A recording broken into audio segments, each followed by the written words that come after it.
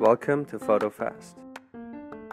In this video, we will show you how to use the photo backup and restore function.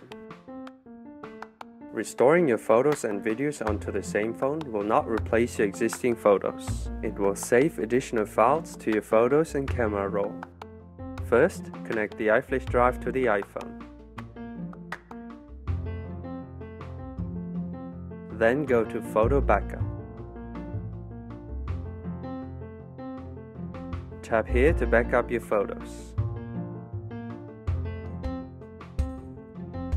Now you have backed up all your photos. You can restore them whenever you need to.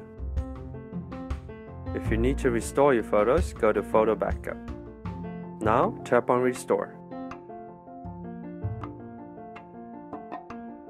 Select either all files or just a few of them. By selecting Restore All Files, it will automatically restore all, your photos and videos to your phone.